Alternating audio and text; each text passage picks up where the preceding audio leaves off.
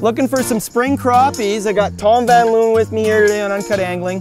This one would be probably pretty good for a 132nd. Absolutely. That's another good eater. And there we go. I got one there too. Doubled up. Oh yeah. We did the spring thing with Tom. Now I'm here with my buddy Mike Schamber, experienced crappie fisherman. We're in the heart of summer, which is weed season for crappie. We're gonna focus in on this area right on the edge there.